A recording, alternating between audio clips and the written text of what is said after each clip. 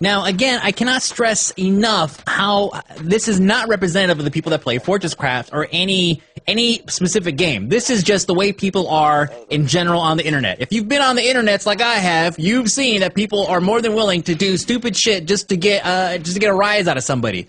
These guys, and I hate to spoil this for you, they're trying really hard to make a swastika, and I'm pretty sure they're not making a swastika uh, that's been popularized by the uh, Buddhist and, and Hindu religions, right? They're making the one that's popularized by the Nazis. I'm just going out on a limb here. I'm pretty sure that's what they're doing. Now, I personally do not condone the usage of the Nazi swastika in any way, shape, or form. However, the reason why I'm showing you this footage is because they couldn't fucking figure it out. It, it, was so frustrating to watch that it was almost to the point to where I wanted to step in and be like, "Move the fuck aside! This is how you make a goddamn swastika, you fucking idiots!"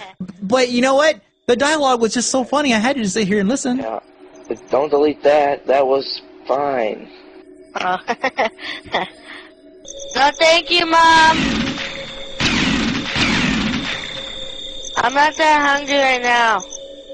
Oh, why did I do that? To delete that and I delete the other one. Your ears so low, do they wobble to the floor? Can you tie them in a bow? Hang on, I gotta fix this again. Whoops. Ah! Hold on, I'll give it one more try. Yeah? Uh, kinda. Does anybody else feel like face palming like a roll of concertina wire? Because I know I do right about now. Jesus Christ.